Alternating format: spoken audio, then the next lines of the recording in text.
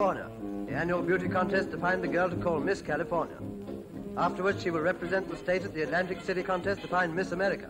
What she will do after that is her own affair. This year's winner was Miss Los Angeles.